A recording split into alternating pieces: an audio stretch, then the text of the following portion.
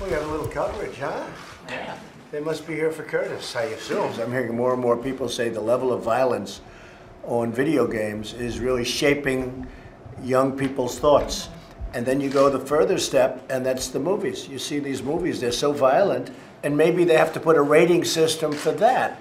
But the fact is that you are having movies come out that are so violent with the killing and everything else that maybe that's another thing we're going to have to discuss. And a lot of people are saying, maybe two weeks ago, we're going to do strong background checks.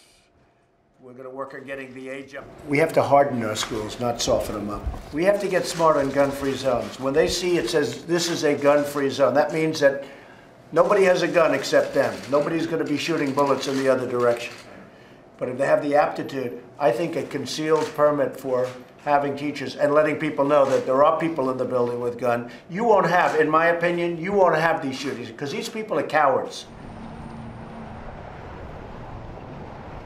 It's a bigger issue. The idea of arming teachers is absolutely ridiculous. The the notion that the NRA likes to push that a good guy with a gun can stop a bad guy with a gun is, is just a myth. It's it's not real. We've got thousands of um, very well-trained veterans walking around doing whatever jobs as they come back from defending our country. I would support someone like that walking around the school.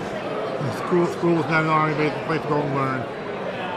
So we're going to be talking seriously about opening mental health institutions again. place But in active our- shooter drills is a very negative thing. I I don't, think- I don't like it. I'd much rather have a hardened school. the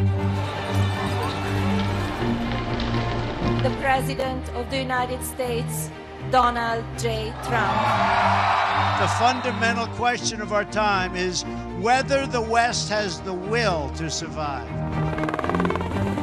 This is an historic moment from which there can be no turning back.